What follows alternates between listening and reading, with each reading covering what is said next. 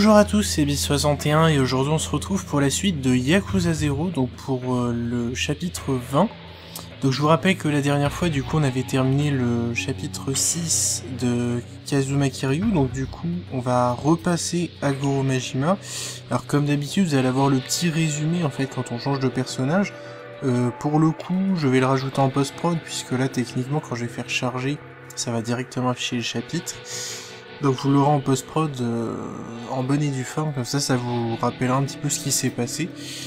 Et puis bon, euh, bah après, euh, si je dois dire davantage de choses, je le ferai euh, directement in-game. Et que c'est parti, allons-y. 大阪蒼天堀の夜を彩るキャバレーグランドの支配人真島五郎 そのきらびやかな表の顔とは裏腹に真島の運命は佐川という男の手に握られている。3年前かつてカムロ町の極道だった真島は親の意向に逆らったことで組から存在を抹消されていた。やがて真島は極道へ復帰する条件として佐川からある人間の殺害を命じられる。真島の標的となったその人物の名は牧村誠。しかし彼女を狙う極道たちの突然の出現により真島は思いがけず誠への殺意を失ってしまう。それは仕事を命じられた殺し屋にとって許されるはずもない行為だった。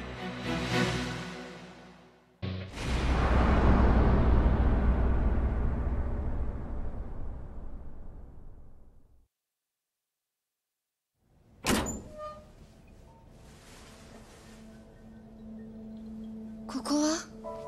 ええから入れ。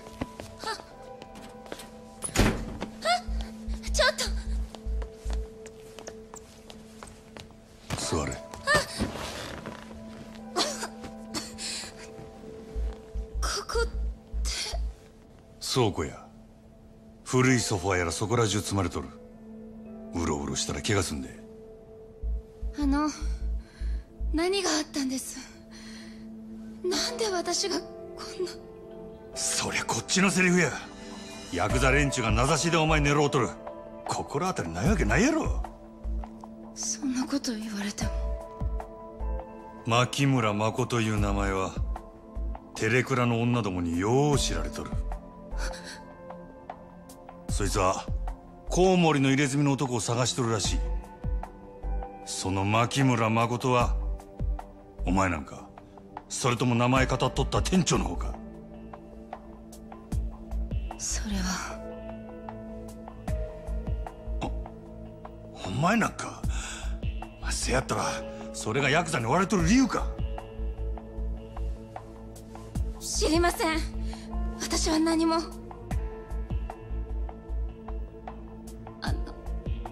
あなたは誰なんですか？あ？俺か。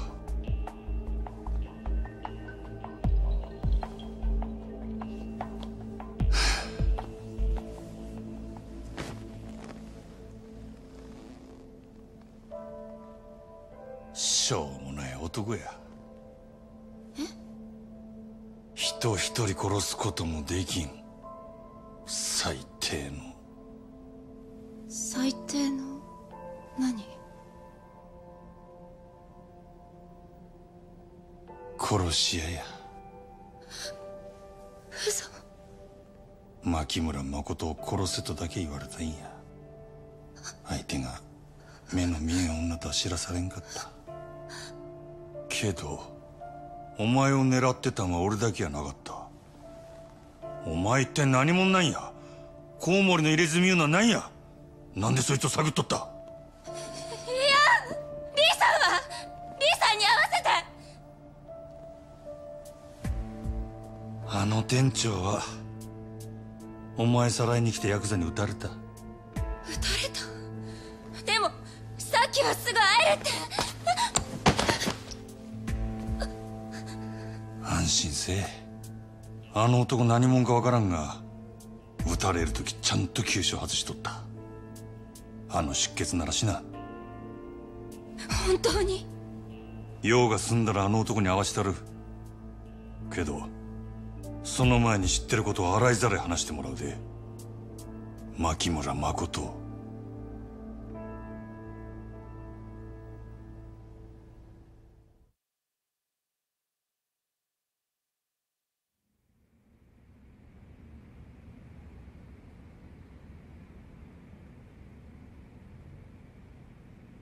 私を殺しに来たんならなんで助けたの？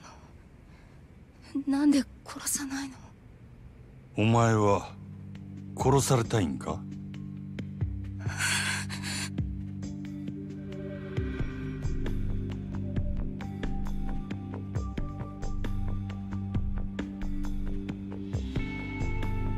どのみちお前生かしとることがバレたらお前も俺も俺の雇い主に消される。せやけどなんでお前が狙われとるかが分かれば少しはやりようがあるかもしれん。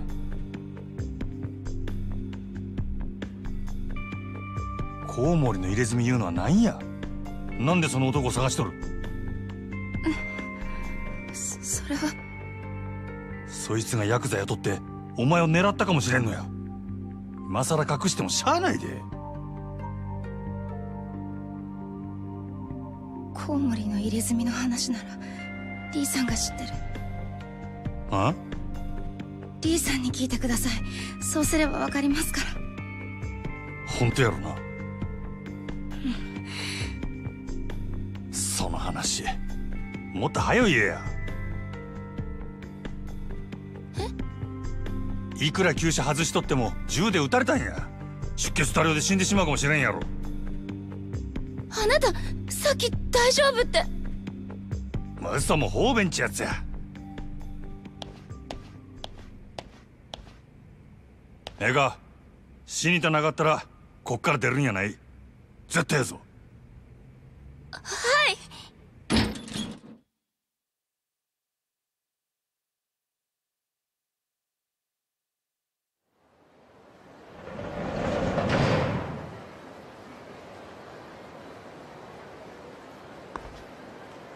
の一つくらい言うてったらどうや？山形。朝早くにすまんかったな。オデッセイでもほとんど使わん物置や。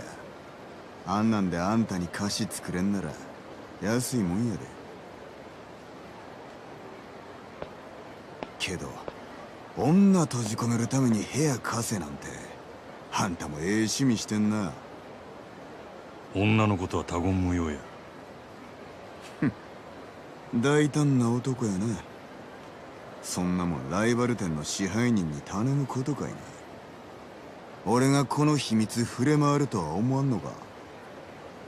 このことがある筋に知れたら俺はこの町におれんようになる。もしそうなったらあんた困るやろ。あ？グランドとオデッセイっちゅう店が張り合うてこその蒼天堀や。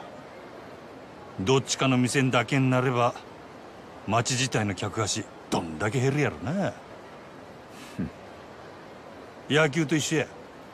一強だけのリーグ戦で客は呼べん。オデッセイだけで試合は盛り上がるんで。なるほど。さすがは夜の帝王っちゅうわけかい。わかったあんたの秘密の趣味は俺の胸にしまっとくわ。せやけど貸しは貸しや。忘れんといてや。ああせや。真島藩あ？あんたキャバクラには行かはりますか？キャバクラ？ああ。最近増えてきとるらしいのグランドやオデッセイみたいなキャバレーとは少しちゃうらしいが。せや。キャバレーのように時間制のお会計で高級クラブ並みの接待を受けられるっちゅうんでキャバクラ言うようになったんだ。まだ行ったことないがそれが？ほな一度行ってみたらええ。蒼天堀の夜の帝王がキャバクラ知らんやなんて。よそに知れたら笑われますほそんなええもんなんか？ええ。これからは間違いなくキャバクラの時代や。男も女も必ずキャバクラに流れる。キャバレーは持ってあと数年ってとこやろな。そこまで言うんやったらあんたもキャバクラやったらええやないか。台所来るし言うてもそんくらいの金あるやろ。もうやったわけどあかんかった。なんやと？まいっぺん見てきたらええ。あんたにもすぐにわかるはずや。キャバクラを制す者夜の街を制する。その言葉の意味なちーと喋りすぎましたわ。ほな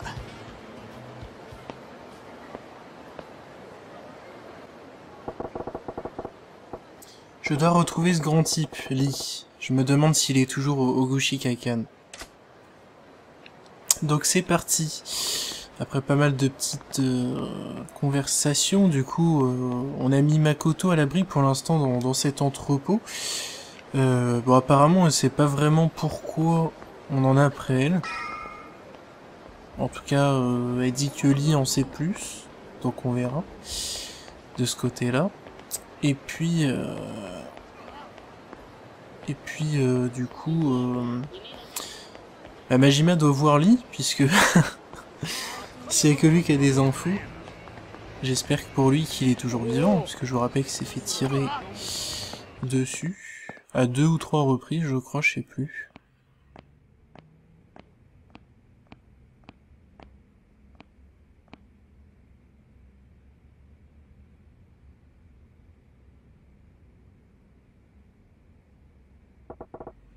Il est parti. Mais il est passé où avec le corps en passoire, bordel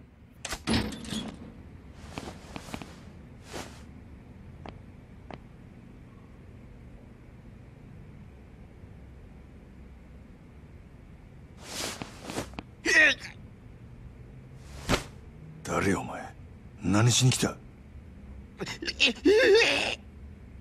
黙っとったら何もわからんで 私関係ない。D さんの着替え取りに来ただけ。リーの着替え？ほなお前ここの店長の居所知っとるのか？リーはどこにおる？無事なんか？D さん今私の病院いる。なんや？おっさん医者か？この辺りの中国人みんな私の病院来る。D さんも夕べ駆け込んできた。そんな病院どこや？いやでででも。俺はリーの味方や先生。あんたここにおったマコという女知っとるか？誠？知ってるよ。リーさんあの子のこととても心配してる俺はその女に頼まれてリーに会いに来たんや。せやからあんたの病院どこにあるか教えてくれ。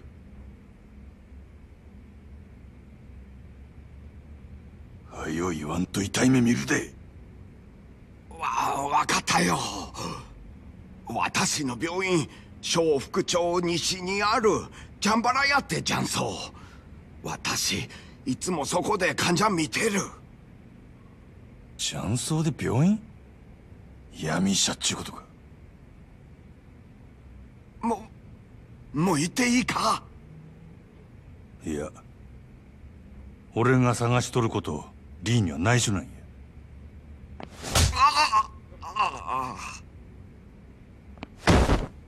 しばらく寝とれ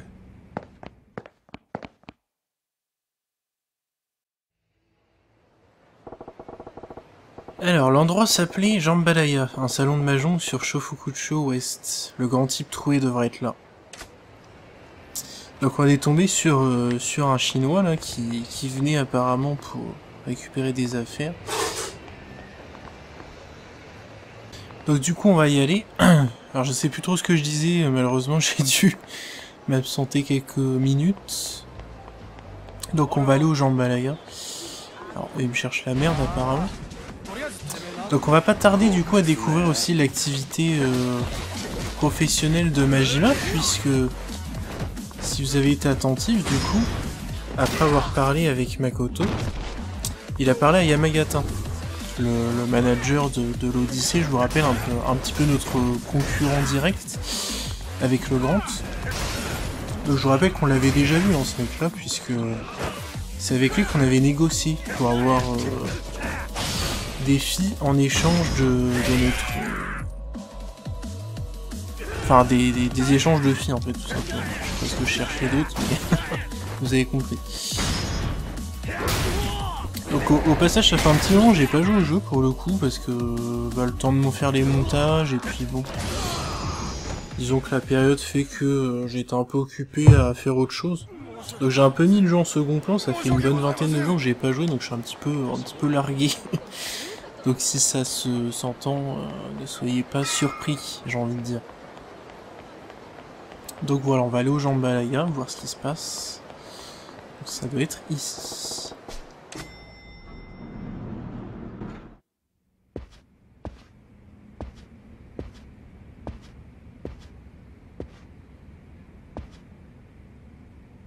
ああそろそろ来ると思っとったで案外遅かったやないか 何やと？そない怖い顔すんなあんた俺が来ることお見通しやったっちゅうんか？まあ想定の範囲内やな。わしをただのハシと思わん方がええで。ゴッドハンドやさかいな。ああ、あかんあかん。そんなん通るわけないやろが。そのトン、当たりや。うわ、そりゃないよ、リさん。お前、下手すぎや。もうえ。そこの新顔と変われ。あんたもええやろ。せっかくこないなところまで来たんや。わしは一度な、殺し屋っちゅう人種と麻雀打ってみたかったんや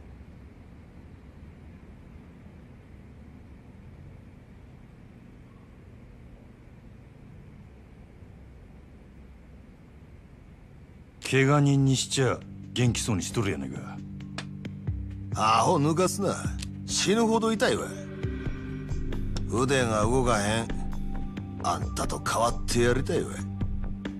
あんたあの女がどないなったか聞かんのか？誠が死んどったらわしを探す理由なんてあらへん。生きとんのやろ？お前まだいっぺんも人殺したことないな。顔見りゃわかるんやで。一線超えんで踏ん張っとるっちゅうとこや。人殺せん男がなんで殺し屋なんかやっとるんや？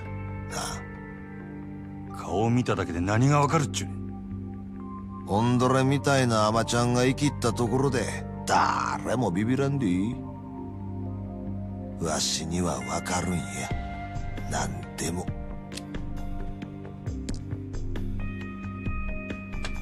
それ論や。悪いな。誠は怪我しとらんのやろな。ああ女は無事や。安心せえ。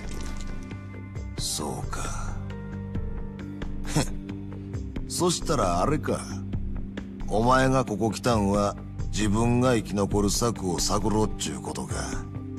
下手打った殺し屋が雇い主に殺されんようにな。言うとくけどな。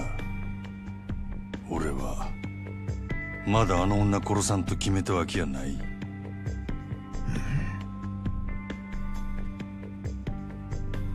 俺以外にもあの女狙ってた連中がおったなあんたの体に銃で穴開けたヤクザどもや。それがどないした？奴らはなんであの女狙うとる？そんなもんお前の雇い主に聞けや。そいつも誠狙っとんのやろ。女が狙われとんのはお前らがコウモリの入れ墨嗅ぎ回ってるせいなんとちゃうか？さあどうやろなリーさん大丈夫だったか？応援かき集めてきたよ！そいつリーさん狙ってる！なかなか楽しかったで。まだ話は終わっとらん。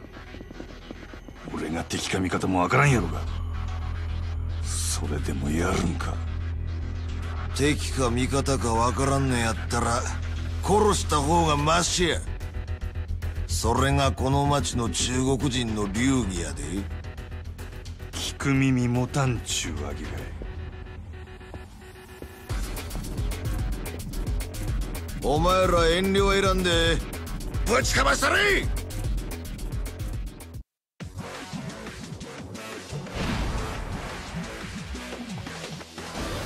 Allez, c'est parti, on va casser la gueule aux Chinois. Alors on va changer de style, on va jouer à la batte de baseball, ça va être marrant. Il faut que je réapprenne aussi un petit peu à pratiquer Majima, puisque bon, ces styles bien à forcément, ils diffèrent de, de Kiryu.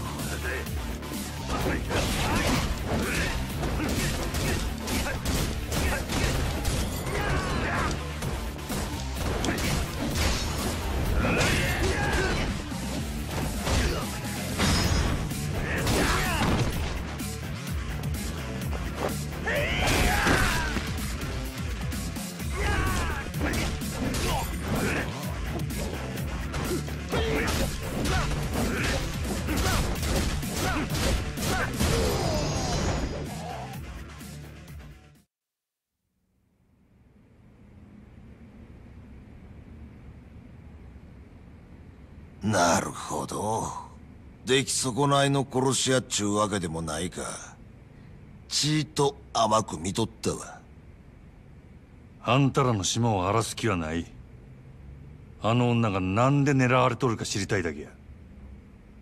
誠の狙われる理由がコウモリの入れ墨の男や言うんやったら多分関係ないで。なんでそないに言い切れる？誠から何も聞いとらんねやな。あの女がお前に聞け言うたんや。あの子は自分の口から言いたないだけや。どういうことや？あの子はなコウモリの入れ墨の男のせいで目が見えんようになったんや。何？誠は2年くらい前初めて大阪に出てきた身寄りも行くあてもないただの18歳の女の子でな。住み込みのホステスやったりいろんな職を転々としとったらしい。せやけどそれは蒼天堀の裏社会にとっては格好の餌食やった。格好の餌食？せや。誠に近づいてきた悪い男がおってな口八丁で誠に身寄りがないこと嗅ぎつけると急に人が変わったそうや。あの子が逃げられんようどこぞの俺に監禁した。そいつは何の目的でそないなこと金や金に決まっとるやろ。コウモリの入れ墨の男は誠を金で売り飛ばしたんやある韓国系の組織にな。そっから毎日あの子が朝から晩まで何させられとったかは皆まで言わん。ただあの子の目が見えんようになったのはそれが原因や。極限状態のストレスから来る心因性視覚障害。火も刺さんような暗がりであの子が自分の目で最後に見たんがそのろくでなしの腕にあるコウモリの入れ墨や。けったくそ悪い話や。そんな誠をわしが拾ったんがつい半年くらい前や。あんたらはその復讐のためにコウモリの入れ墨を探し回っとるっちゅうわけか。誠は自分と同じ目に遭うやつを他に作りたないんやとなんやったらわしが確実に殺したるけどなコウモリの入れ墨、皮ごと剥ぎ取ったら。けど、これで分かったやろ。言うても、コウモリの入れ墨は街で自分の顔さらして女さらう程度の小物や。そいつが今誠の狙われとる理由とは思えん。チンピラに雇われて、あない行さんヤクザは動かんやろ。せやったら他に心当たりはないんか？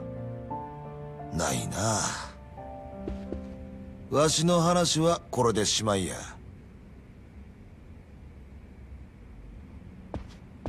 あの女は小福町通りの春ビルの中におる。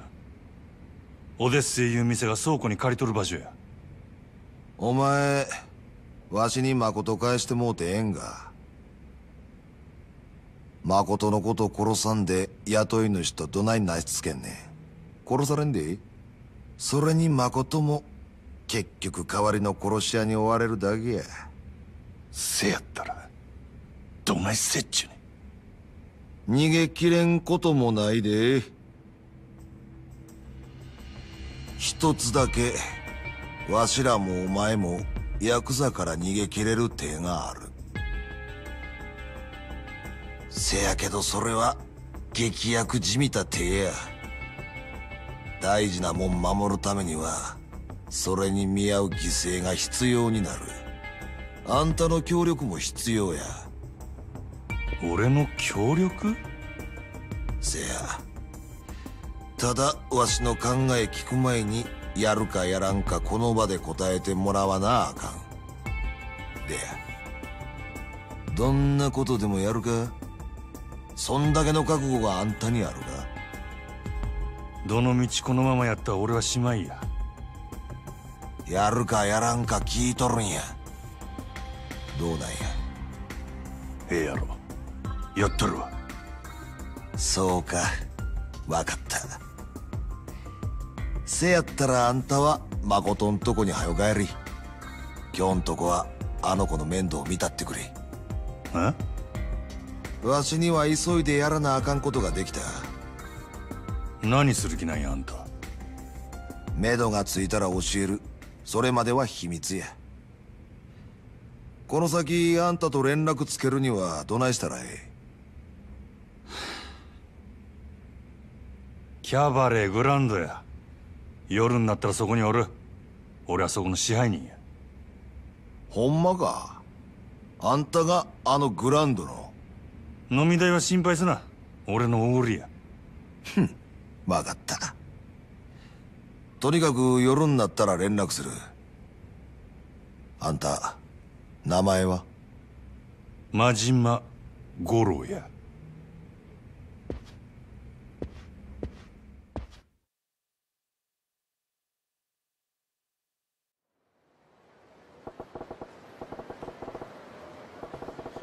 ce soit ce lit, c'est un sacré numéro. Je ne peux rien faire de plus que voir comment va la fiche, je crois. Allez, redirection d'entrepôt, voir ça. Donc il nous a expliqué un petit peu euh, cette histoire. Bon, il sait pas vraiment pourquoi ils en ont après. Mais il nous a parlé de, du fameux mec au tatouage de chauve-souris. Donc qui apparemment serait... euh, un peu le, perso recherché, hein, si vous vous rappelez, de toute façon, quand on avait joué avec Majima euh, dans les chapitres précédents, je vous rappelle, on avait eu euh, euh, un rencard avec une certaine Ako-chan, je crois qu'elle s'appelait de mémoire. Et c'est grâce à elle qu'on a remonté la piste en fait de, de Makoto Date, où elle expliquait qu'en fait le mec qui prenait soin d'elle entre guillemets et des autres filles, il avait juste une requête envers ces filles-là, c'était de faire attention au, au tatouage des gens, enfin voir s'il retrouve un mec qui aura un tatouage de chauve-souris en fait. Et pourquoi il est recherché? Bah apparemment parce que monsieur a tout simplement kidnappé Makoto pour en faire du trafic d'êtres humains tout simplement. Par le biais de la mafia coréenne. Et ce qui explique pourquoi du coup elle est euh, elle est aveugle en fait. Ce qui fait que ce n'est pas de pas de naissance quoi, si on peut dire. Donc c'est lié à ces événements en fait. C'est cécité euh, post-traumatique comme il est dit. Alors je sais plus exactement comment c'était écrit en anglais, Mais en tout cas, je l'avais traduit euh, comme ça, post-traumatique. Parce que j'avais fait des petites recherches pour voir s'il n'y avait pas des termes plus spécifiques, parce que je crois que ça c'est écrit différemment en anglais, mais j'arrivais pas à trouver forcément le le bon terme en français, parce que voilà, on arrive dans des dans des termes de médecine, forcément c'est pas évident de, de savoir lequel est le bon en fait. Quand t'as aucune connaissance dans le domaine, forcément, c'est un petit peu compliqué. Mais voilà, ça nous a permis en tout cas de savoir un petit peu pourquoi elle est dans ces conditions-là. Mais pourquoi on la traque, ça pour l'instant, on ne sait pas.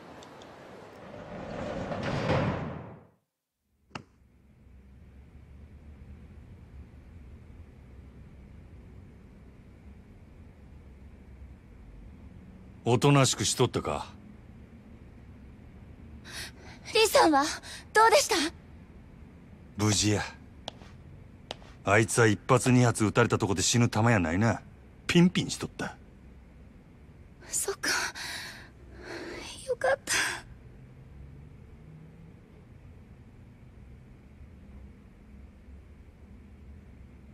でもそれじゃあの話も全部聞いたの。ああ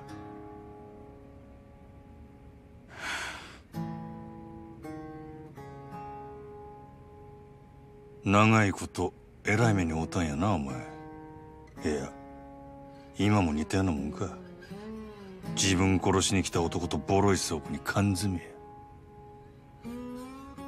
けどコウモリの入れ墨のことは多分お前が狙われとる理由とちゃうリーもそう言うとった。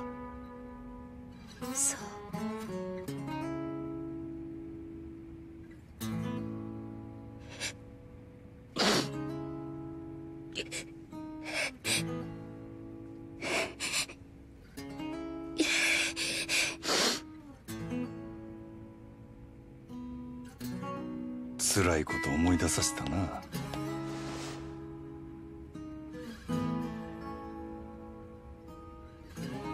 少しやけど俺もお前に似たとこがあるんや。俺は片っぽだけやが目が見えん。それだけやない。いつ死んでもおかしない場所で俺も長いこと監禁されとった。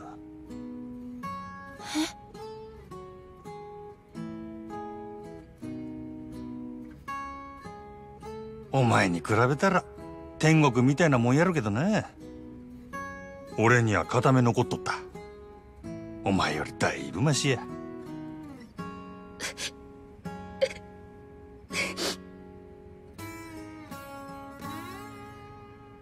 こんなん言うても慰めにならんか。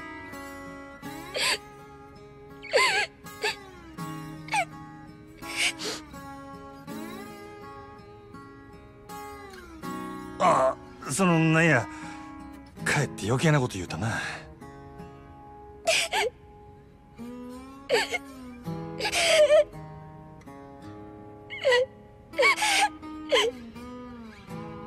ああせや。腹減ったんとちゃうか。なあゆうべから何も食うとらんもんな。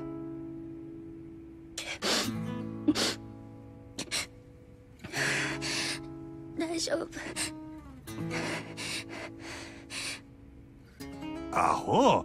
大丈夫なわけないやろが。腹減っとるからそんなに落ち込むんや。元気ない時は食うに限るで。な。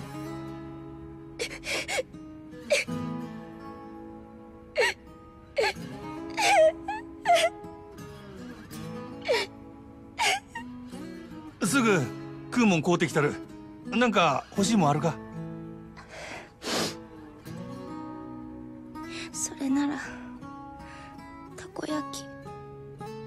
なんややっぱり腹減っとるんやないか分かったちょ待っとけええな「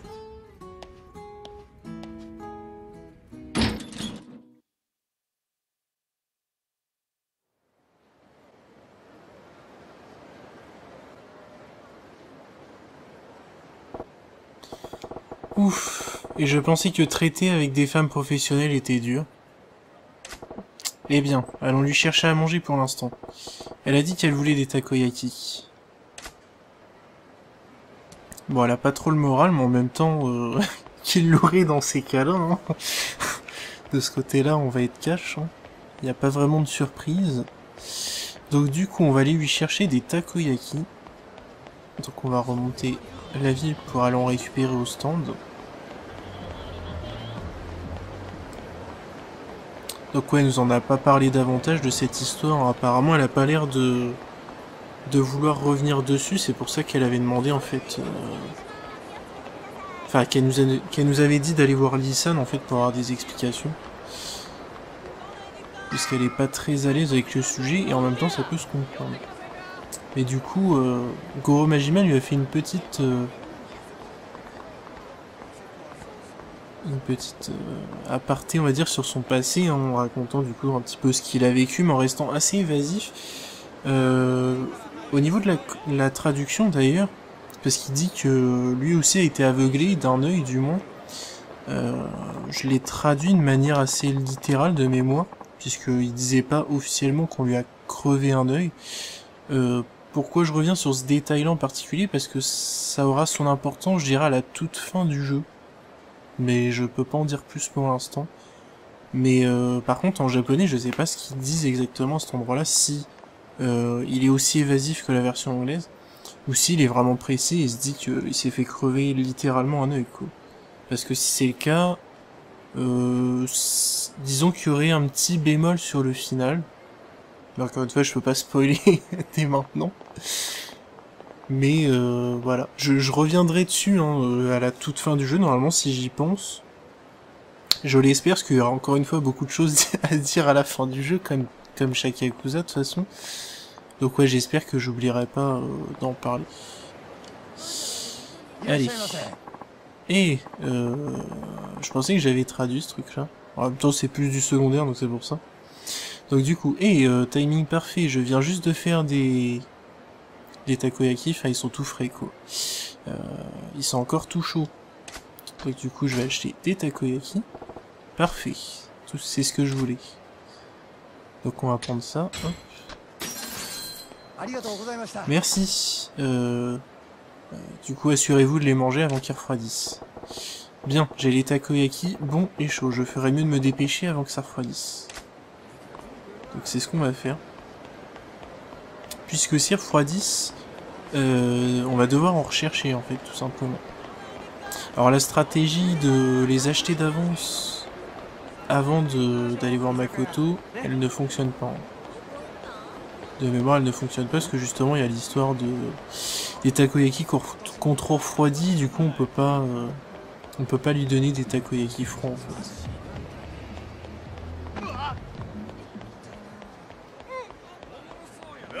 Ça fait partie des, des textes traduits euh, que vous ne verrez pas du coup dans cette vidéo, puisque moi j'ai des takoyaki tout chauds. Mais voilà, il y a cette fameuse condition des takoyaki euh, froids. voilà. D'accord, j'ai des takoyaki tout chauds, j'espère que ça l'aidera à se calmer un peu.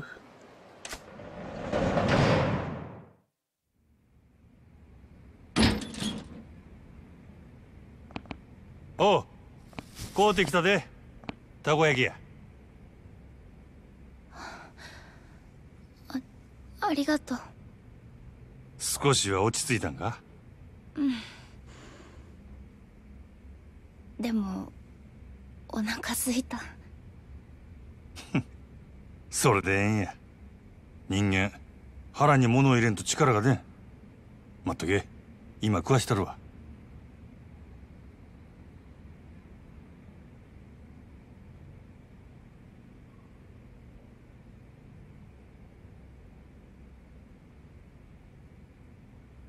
あのあ？あなたは目どうしたの？ん？その片目がなんで見えなくなったのかなって。ああ。俺の場合は怪我っちゅうかな。事故みたいなもんでもう完全に潰れてもうだそんなもう一つの目は残っとる。別にそれで十分や。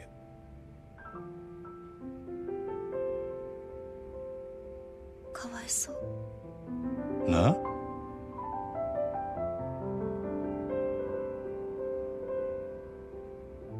アホか。お前の方がよっぽどやろ。私の目は心因性だからいつか治るかもってリーさんが。そうなんか？なら望みはまだあるっちゅうことやな。よかったやないか。でもあなたの目は。もう慣れとる。そない不自由しとらんわ。せいぜい男前が台無しになっただけや。男前なんだ。目が揃っとったらな。お見せできんのが残念やでほんま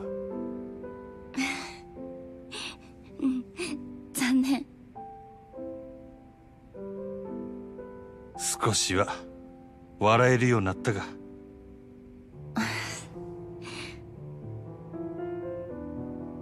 うん？何やお前？時計しとるんか？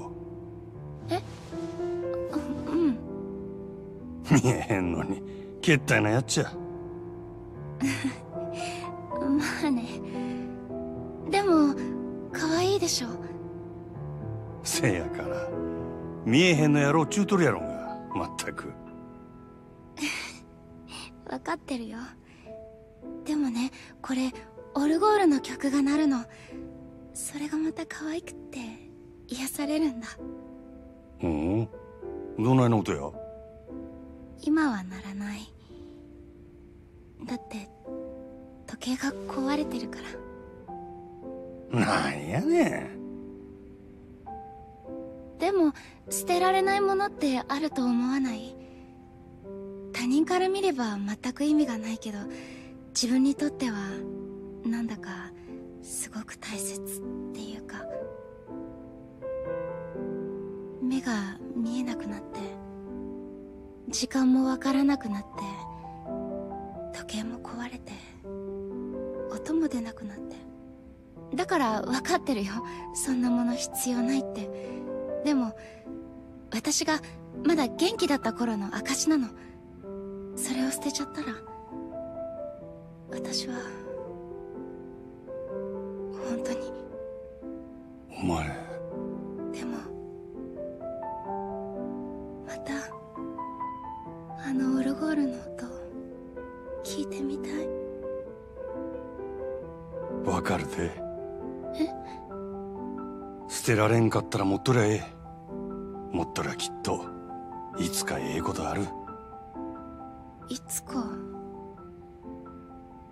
いいことか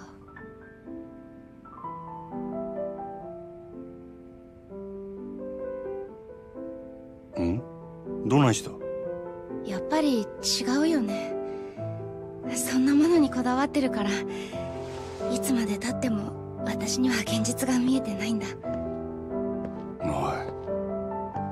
あいいの。ありがとう。あなたの気持ちは嬉しいよ。感謝してる。いそうやない。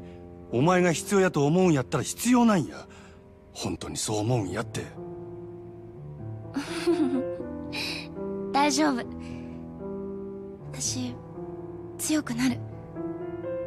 強くならなきゃ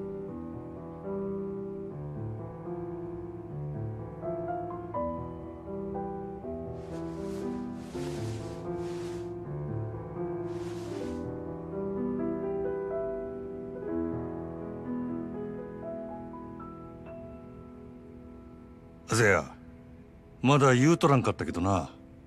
リーノさんはなんややることがある言うとったわ。それが済んだらここに迎えに来させる。それまでもう少しの辛抱や。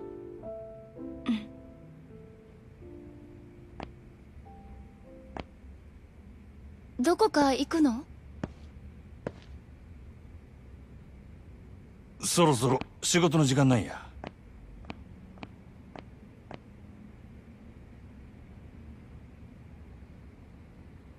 佐川って名前に聞き覚えあるか？近江連合の極道や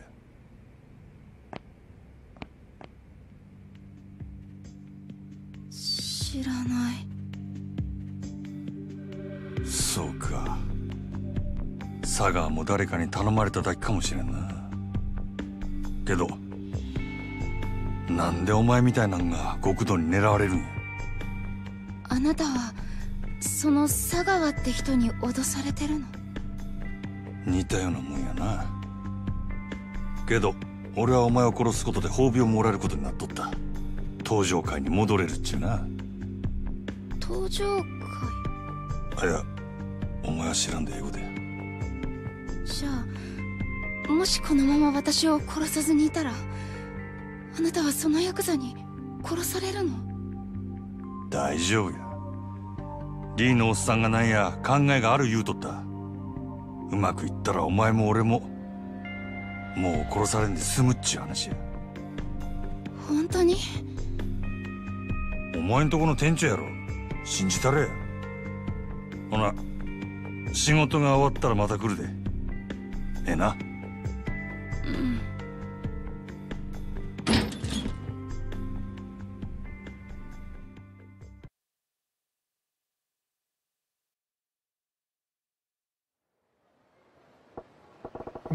je pourrais peut-être passer dans un cabaret club comme Yamagata Han m'a suggéré en allant Gant. J'en ai vu un dans le coin de Ganji Yokocho, je crois. Ça vaut le coup d'œil. Eh bien, c'est ce qu'on ira faire prochainement bientôt, mais j'ai envie de dire dans la prochaine vidéo. On va se faire un petit combat avant de, de s'arrêter. Donc du coup, bon bah on a réussi à lui remonter un petit peu le moral avec des takoyaki. Elle nous a demandé plus d'infos du coup sur notre œil. Alors j'avais oublié qu'il revenait là-dessus après. Donc du coup ce que j'ai dit plus tôt en fait euh, n'a plus de sens. Enfin n'a plus lieu d'être quoi je veux dire. Parce que là il a vraiment expliqué que qu'il avait une blessure et qu'il était euh, mort quoi son œil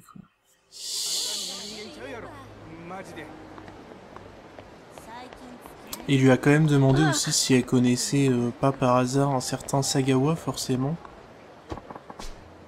Euh, non, je veux pas prendre le taxi, je me suis trompé. C'est- la, cabine téléphonique, voilà. Mais apparemment, ouais, elle sait pas qui c'est, donc... De ce côté-là, ça nous avance pas trop. Donc on va voir au fur et à mesure.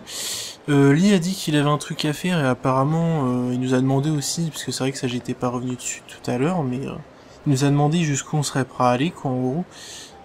Et euh, il a peut-être peut-être un plan pour euh, que les, les Yakuza et on va dire les autres entités qui en ont après elle la laissent tranquille. Donc ça on verra euh, dans les vidéos suivantes forcément.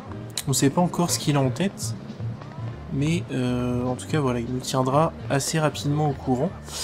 Mais bon, pour le côté histoire, en tout cas on a bien avancé dans cette vidéo, il y avait pas mal de, cinématiques, etc. La vidéo suivante, du coup, on va se concentrer euh, essentiellement du coup sur l'activité euh, professionnelle de Majima. C'est là où on va la découvrir. Du coup, il y aura le début du scénario de, de cette activité, tout ça, comme ça a été le cas en fait pour euh, Kazuma. Donc voilà, ce sera l'occasion de vous expliquer en quoi ça consiste, comment ça fonctionne, tout ça, tout ça, et, euh, et puis voilà, après je fonctionnerai de la même manière qu'avec Kazuma, c'est-à-dire que quand il y aura des phases répétitives, euh, telles que par exemple collecter les thunes, euh, comme je faisais avec Kazuma, euh, une fois qu'on a compris le concept, ça sert à rien que je vous montre tout le temps comment ça fonctionne, donc je ferai pas mal aussi de hors-cam, et je couperai ça au montage euh, pour avoir des vidéos un peu plus digestes et pas trop répétitives. Voilà. En tout cas, n'hésitez pas à commenter cet épisode, et puis on se dit à la prochaine, du coup, pour le chapitre 21. Allez, à plus